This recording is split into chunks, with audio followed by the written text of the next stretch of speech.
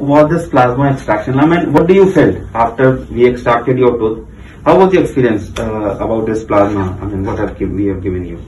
How do you felt about this plasma therapy? I think it has helped in, uh, what should I say, not healing, but uh, removing the discomfort. Discomfort. Discomfort was very less. Yes, And uh, yes. and and you were on uh, you are on uh, blood thinners. I'm take, uh, I started already. Already you started. But were you expecting that after, uh, uh, in a certain short period, we went for your surgery, you know that your last tooth was fractured. Correct. We pulled it out in a surgical way. Then we placed that plasma inside your socket. Correct. Were you thinking that on such a fast pace, I can just start blood thinner?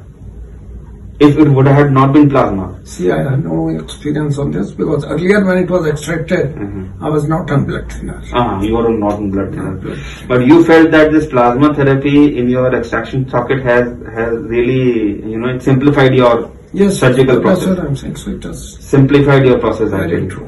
And and the amount of medication also you feel that it was less required Yes, I mean, in this plasma therapy. hardly any medication. actually. Hardly any medication. You you were on very light medication what we gave you after painkiller and antibiotics. Antibiotics. And that too only for a short duration. Three days, yes. Three days. So you- now you feel that it is a, a revolution right now in Yes, dental medical yes, science. Yes, I suppose so. You suppose